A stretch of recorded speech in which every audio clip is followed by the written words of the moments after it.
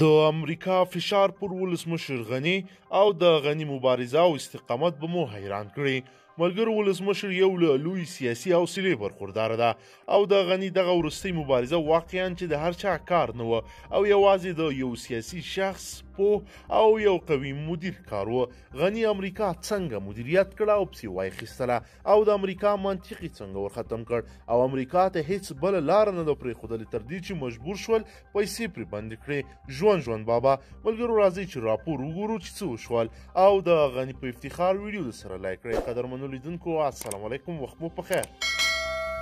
د ولسمشریزو ټاکنو د پایلو له اعلان وروسته سم عبدالله عبدالله د پایلو له نه منلو انکار وکړ او وی ویل چې هغه ټاکنې ګټلې دي خو ورسره سم یې دا خبره هم وکړه چې ولسمشر غني دی ورسره جوړجاړی وکړي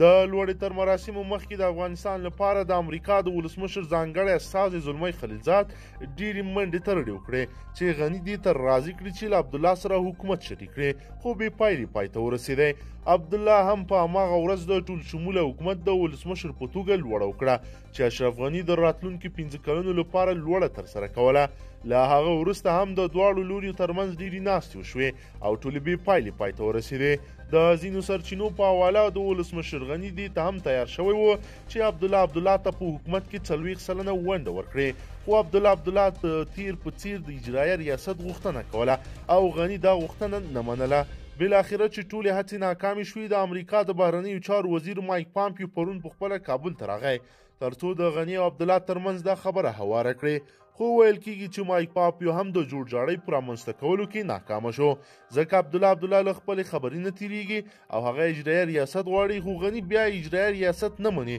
او وایي چې په حکومت کې له ځان سره شاملوي خو اجرایه ریاست نه ورکوي همدا لامل شو چې د امریکا د بهرنیو چارو وزیر وویل چې د افغانستان سره په خپلو مرستو کې یو میلیارډ ډالر مرسته کموي او دا یو مخاطر او دا په دې خاطر کوي چې د غني او عبدالله ترمنځ اختلافات نه ختمیږي هغه دا هم ویل چې راتلونکی کال کې به یو میلیارډ ډالر مرسته نور هم راکمه کړي دا د امریکا پر ولسمشر غني د اخیری حد فشار دی ترڅو هغه دې تر راضي کړي چې له عبدالله عبدالله سره یو ځل بیا حکومت نیم کړي خو غنی په خپل خبره کلک ولاړ دی او دې خبرې ته تیار نه دی چې له عبد الله عبد الله سره د خپل حکومت نیم کړي که څه هم مخکې هم څو څو ځله ځینو سرچینو دا خبره وکړه چې دواړه هوکړې ته رسیدلې دي او ژر به یو داسې حکومت اعلان کړي چې عبد الله به هم پکې برخه ولري خو هر ځل دا خبرې بیا له نوي ځن سره مخ شوې دي او ویل کیږي چې خبره ټوله په اجرایي ریاست کې ده او غنی نه غواړي چې په خپل نوي حکومت کې داسې یو څوکۍ ولري چې حکومت دې نیمیایي د هغه له لاسه ووځي قدرمنو لیدونکو خپل نظرونه مو را سره حتما په کمنټ کې شریک کړئ که چیرې غواړئ چې ورته تازه او مهمو پیښو څخه ځان ډیر ژر او پلندو کې خبر کړئ زموږ چینل د سره سبسکرایب کړئ او ویډیو د سره حتما لایک کړئ تر بلې ویډیو مو په لوی ډب سپارمه